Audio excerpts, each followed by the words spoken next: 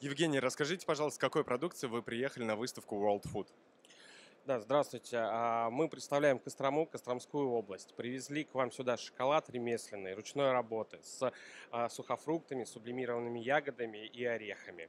А, Работаем с бельгийским сырьем, правильно темперируем его, да, и добавляем много-много всяких орехов. Вот с такой продукцией мы к вам приехали.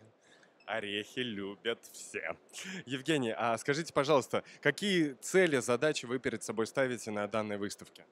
А на данной выставке мы ставим цели, конечно, познакомиться с а, людьми, которые будут продавать нашу продукцию, да, найти себе партнеров. Это пе- первая задача и самое главное, важное для любого производства. А Вот, э, потому что произвести мы можем, да, но нам нужны партнеры, и мы открыты для сотрудничества.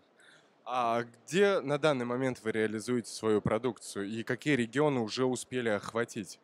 А, Мы работаем очень хорошо в своем регионе, Кострома, Костромская область. Также представлены в интернет-площадках Ozon, Wildberries и так далее. А В интернет-магазинах хорошо у нас продаются. А В Москве открылась сеть небольшая из 11 магазинов костромских продуктов. Тоже мы стоим на полках с нашими партнерами. Работаем с центральными городами Москва, Санкт-Петербург. Ну и с теми, кто готов к сотрудничеству, тоже приглашаем и к нам на стенд. И всему всё. Евгений, надеюсь, эта выставка вам даст возможности найти партнеров для экспорта уже. Да, будем надеяться. Спасибо большое.